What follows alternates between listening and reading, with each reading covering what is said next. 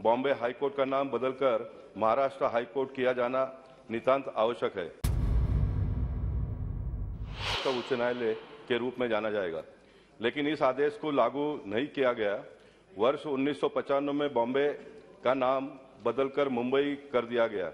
लेकिन बॉम्बे हाईकोर्ट का नाम वही रहा। चूँकि बॉम्बे नामक शहर अब मौजूद ही नहीं है, लेकिन हाईकोर्ट बॉम्बे के नाम पर ही है, जो उचित नहीं है। महाराष्ट्र शब्द का उच्चारण एक महाराष्ट्रियन के जीवन में विशेष महत्व को महत्व को दर्शाता है। अंत इसके उपयोग को उच्च न्यायालय के नाम में भी अभिव्यक्ति मिलनी चाहिए।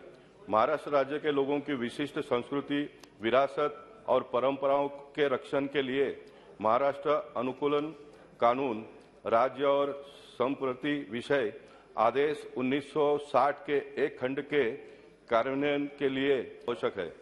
इस संदर्भ में मैं यह भी दृष्टि है कि बॉम्बे हाईकोर्ट का नाम महाराष्ट्र हाईकोर्ट किए जाने वाली एक जनहित याचिका में माननीय उच्चतम न्यायालय ने अपने आदेश में तीन ग्यारह दो हज़ार बाईस में कहा है कि इस मामले में संसदीय प्रक्रिया है, अत इसमें न्यायालय द्वारा हस्तक्षेप नहीं किया जा सकता है और तथापि यदि ऐसा परिवर्तन किया जाना है तो इसे संसदीय या विधायी निकाय के माध्यम से ही किया जाना चाहिए।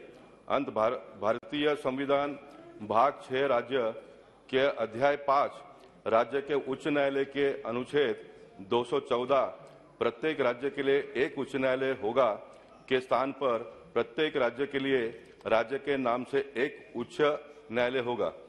अंतस्थापित किए जाने हेतु संशोधन किए जाए और साथ ही अन्य राज्यों के संविधित अधिकारियों को भी निर्देश दिया जाए कि वह अपने वह अपने उच्च न्यायालय को के नाम उन राज्य के नाम के अनुसार बदला जाए दीजिए। धन्यवाद। जय महाराष्ट्र सभापति जी। श्री राहुल कसवा जी। धन्यवाद महोदय। मेरे संसदीय क्षेत्र के हनुमानगढ़ ज़िले के नौहर रावतसर भादरा तहसील के किसानों की प्रधानमंत्री फ़सल बीमा योजना के तहत फ़सल बीमा कंपनी एग्रीकल्चर इंश्योरेंस कंपनी द्वारा किया जाता रहा है। क्षेत्र के किसानों की कंपनी द्वारा खरीफ फ़सल वर्ष 21 रबी वर्ष 21-22 का बीमा क्लेम आज तक नहीं दिया गया। 35 प्रतिशत से अधिक क्रॉप कटिंग की जो जो कर्मचारी क्रॉप कटिंग हुई है उसमें बीमा कंपनी कर्मचारी राजस्व विभाग और कृषि के विभाग के अधिकारियों के, सम, की उपस्थिति में किसानों के सिग्नेचर्स हुए हुए हैं क्रॉप कटिंग की रिपोर्ट को लेकर। इसके बावजूद भी बीमा कंपनी ने स्टैक के अंदर स्टेट जो लेवल टेक्निकल असेसमेंट कमेटी है उसमें क्रॉप कटिंग की रिपोर्ट के आंकड़ों को चैलेंज किया गया और बीमा कंपनी बीमा क्लेम को भुगतान करने से मना कर दिया जा रहा है। वह स्टैक के द्वारा सैटेलाइट के डाटा डाटा मांगा गए हैं, मांगे गए हैं स्टेट, सेंट्रल गवर्नमेंट से।